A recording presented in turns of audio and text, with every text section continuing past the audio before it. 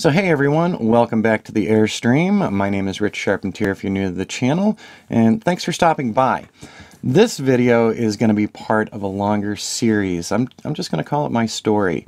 Um, I decided to do it this morning because I've got a conference call at 12 o'clock today that can run up to two hours. It's actually, it's a conference call with a, um, a medical provider out of Scottsdale, Arizona. And I never, I never thought I would do this video, but I think it's necessary.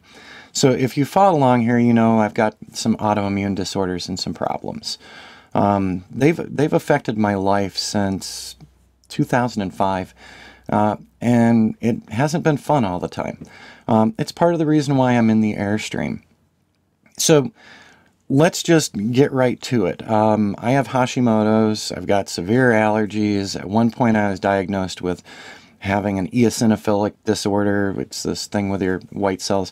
Bottom line, my my body hasn't been happy with um, with stuff for quite a while. And the entire time uh, since 2005 and all this started, I've always had something in the back of my mind that I believe really pushes the issue. And so in this series, I'm going to talk about that. And what I've had in the back of my mind that pushes this issue is long term Lyme disease. Um, when I was a kid, I lived in New England. I grew up on a beautiful lake, and I spent a lot of time with my family on that lake. I played outside, I rolled around in the grass. Um, I dove into poison ivy bushes because I didn't know they were poison ivy and woke up the next day with my whole face swollen up and itchy. You know, things kids do in the 70s. Um, during that time, uh, when I was actually know, right at the start of the 80s, I was nine years old, uh, 1981, and um, I was at the lake, and my cousins were making fun of me. They were teasing me. They were all older. I was the youngest of the cousins. And um, my uh, cousins teased me because on my back, I had a giant bullseye. Uh, we're talking perfect lifesaver bullseye the uh, the telltale Lyme disease uh, flag. And in 1981, people didn't know about Lyme disease. So I got really sick for a couple of weeks in August of 1981, hanging out on the lake. Um, we never brought me to a physician uh, at that time, and I finally got through it. So it was like a really weird, horrible summer cold.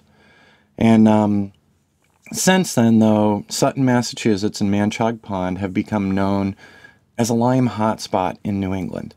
My entire family over the past decade has been treated time and time again. So when you get bit by a Lyme tick, um, it stays in your blood for months.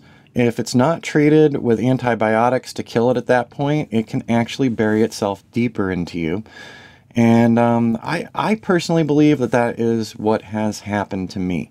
And the really fun thing is the medical community, half of it doesn't believe in long term Lyme. The other half does, but treatment is kind of out the window. When you go to a physician and you say, I have a suspicion that I got Lyme when I was a kid, they do the basic blood test. And that blood test is not relevant and can often give false negatives. And I've had a lot of doctors tell me that. So why why has this come to mind? Why am I thinking about this today? Um, yesterday, Jody was talking to her father for Father's Day, and he's sick as a dog right now. He's been having a really bad time, and he was just diagnosed with Lyme, so he was recently bitten. Um, so he's been doing some heavy antibiotics, and he was telling her about all of his symptoms and all the problems, and the fact that he'd be freezing one moment and hot the next moment. I just went through that a couple weeks ago again. That seems to be a springtime ritual with me getting sick as a dog for up to a month.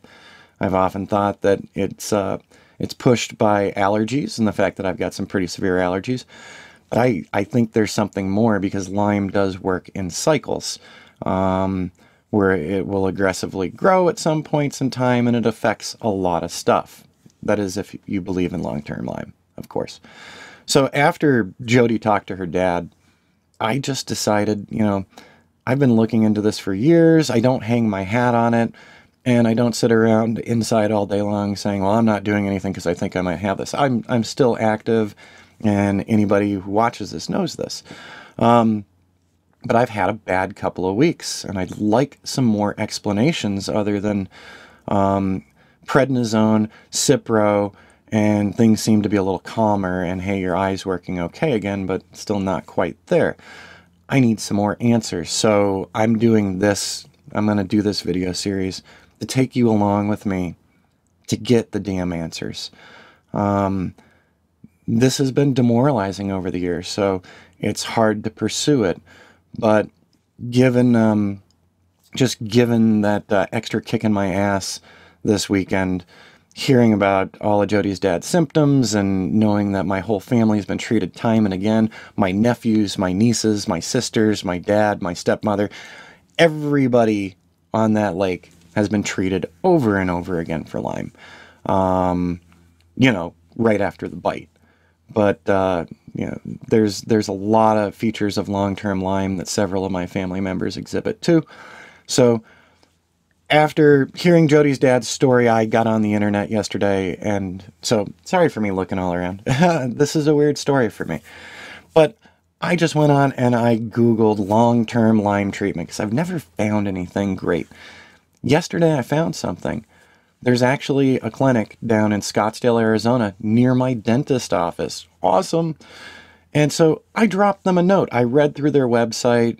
Um, I didn't read through all of it because I want to talk to somebody. And so yesterday was Sunday. I got a phone call yesterday afternoon from these people.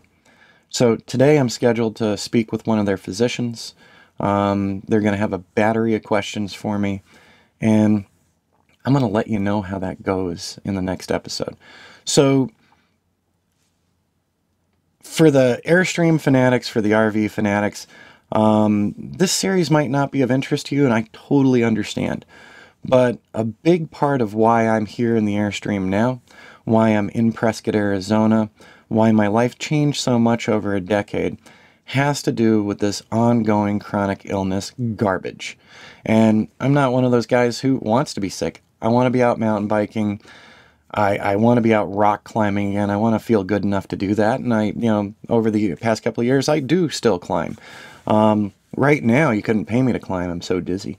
So I'm going to start getting some answers. I'm going to share this with you. I'm going to share this journey with you, investigating this. It might turn out that they can't help me at all, and it is just the Hashimoto's and it's just the allergies.